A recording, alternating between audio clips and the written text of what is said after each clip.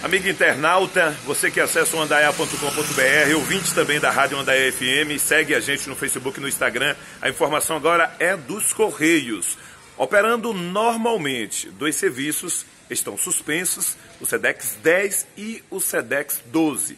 Estamos aqui no Centro Comercial de Santo Antônio de Jesus e daqui a pouquinho a agência abre, né?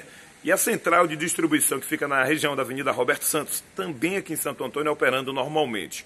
Os carteiros Aqueles que vão na nossa casa, na empresa que nós trabalhamos, eles estão usando álcool gel. Mas a matéria completa você confere acessando o nosso site andaiá.com.br.